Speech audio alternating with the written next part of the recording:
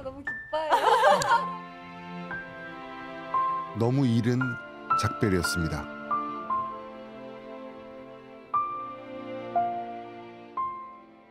배우이자 가수로 활발하게 활동해온 설리, 본명으로는 최진리 씨가 오늘 오후 자택에서 숨진 채 발견됐습니다. 바로 어제였죠. 그룹 FX 출신 설리 씨의 갑작스런 사망 소식에 연예계는 충격에 빠졌습니다. 가요계 동료들은 예정된 스케줄을 줄줄이 취소하며 그녀의 마지막 가는 길을 애도했는데요. 경찰이 신고를 받고 찾아간 곳은 설리 씨의 자택이었습니다. 매니저가 스케줄이 있던 설리 씨와 연락이 닿지 않아 자택을 찾았다가 숨진 설리 씨를 발견한 겁니다. 그 15시 20분경에 매니저부터 그 돌아왔다는 신고가 들어가서 저희 현장 확인했고요. 일단 현재 나온 것까지 는 어, 치위 흔적, 일단 그런 거 없고 하지만 어젯밤 소속사에선 공식 입장을 통해 설리 씨가 우리 곁을 떠났다며 유가족 모두 조용히 장례를 치르길 원한다는 내용을 전해왔습니다.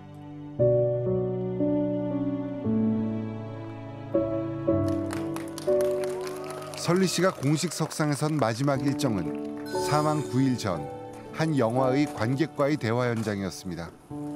안녕하세요, 설리입니다. 오늘 재미있게 대화를 해보도록 하겠습니다. 설리 씨는 자신의 상황을 빗대 영화에 대한 감상평을 허심탄회하게 전했는데요. 저 같은 경우에는 사람을 되게 잘 믿는 편이에요. 근데 음, 진짜 요즘 세상이 막 누구 믿기 힘든 세상이잖아요.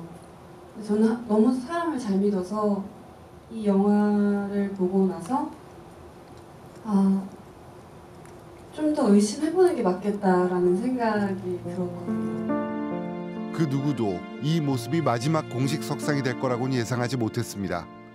평소처럼 밝았고 진솔하게 자신의 이야기를 털어놨던 그녀.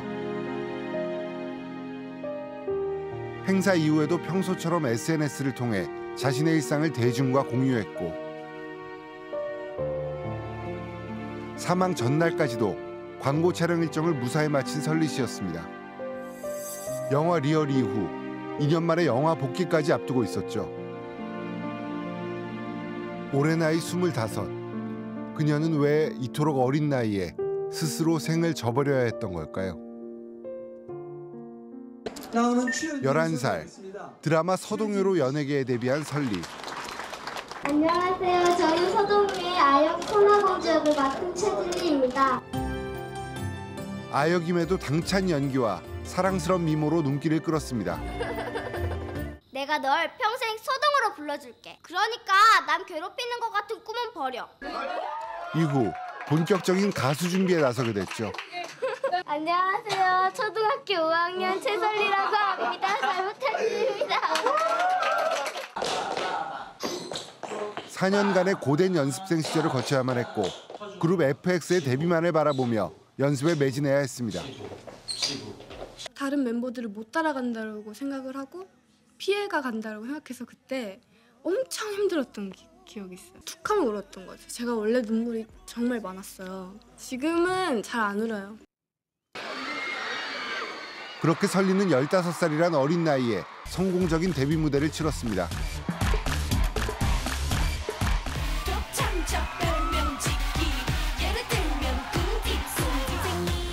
팀의 사랑스러운 막내이자 lovely한 비주얼로 인지도를 쌓아갔죠.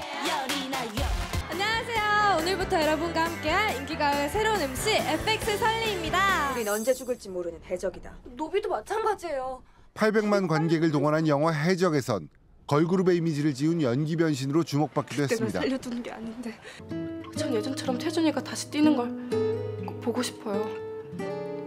전 다시 여자로 돌아갈 수 없습니다.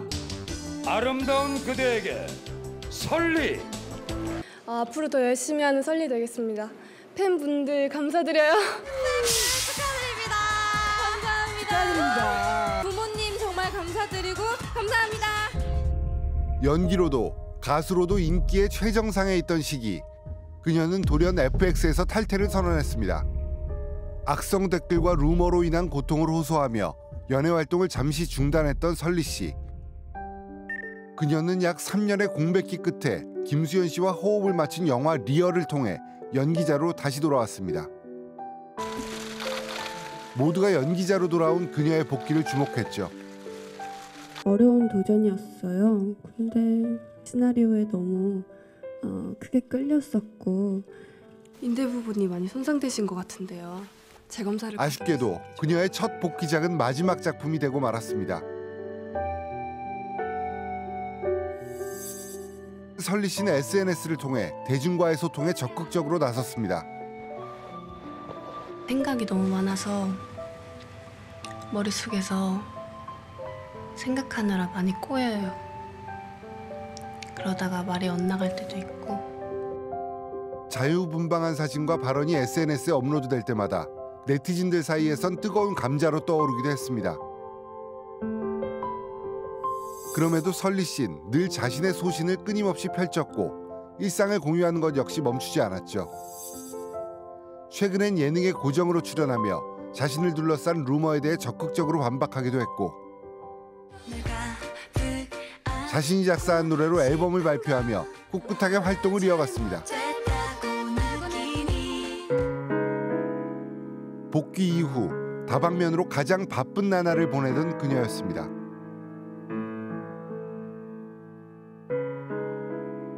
그럼 난 정말 누구일까? 내가 뭘 잘못했나? 그냥 다 끝내고 싶다. 그런 생각을 해요. 글쎄요. 어떤 끝인지는 각자 생각이 다르지 않을까요? 25세 그녀가 감당해야만 했던 세상은 너무 벅찼던 걸까요? 그녀는 최근 팬들에게 보낸 손편지에서 삶은 혼자가 아니란 생각이 든다며 자신도 따뜻함을 전할 수 있는 사람이 되고 싶다는 글을 남겨 보는 이들의 마음을 안타깝게 하고 있는데요. 사람들은 다 친절한 걸 원하잖아요. 피해자한테도 친절한 걸 바라잖아요. 좀 더 친절하게 얘기해 줄 수 없냐고 사람들은 늘 얘기하잖아요. 왜 우린 그녀에게 조금 더 친절하게 이야기를 해주지 못했던 걸까요? 누구보다 웃는 모습이 참 아름다웠던 사람이었습니다. 그 모습을 잊지 않겠습니다.